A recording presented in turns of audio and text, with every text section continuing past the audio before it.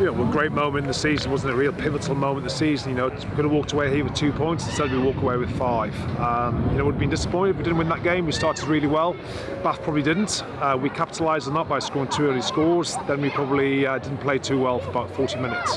Bath did, got themselves back in the game, and then the last 20 minutes was a real, real hunting of a game, I thought. On the whole, you must be incredibly pleased with the boys' character out there to, to never know when they're beaten and to come back and win it in nine seconds. Yeah, I think, I think you know we, we, attacked really well today. We defended really well today. Our, our, set piece showed some real signs of continued improvement, like it has done all season, under the tutelage of Alex and uh, of Bom, of course. Um, but you know, for us, we, we have to show togetherness. We have to show that fight because sometimes it's going to be tough. Uh, and today's tough. Bath are a good team. They're well coached. They've got a lot of uh, big big players playing for them. A powerful team, and uh, they're at home and uh, they raise the game a little bit when you come here. And uh, for us to get the five points is, is, is a big stepping stone in our season. You mentioned there, Bath are at home. It's a turnaround uh, to next Sunday when we'll be playing Gloucester at the Stoop, another great challenge against a team just below us in the table. Yeah, look, you know, for, for me, I'm, I'm, looking up.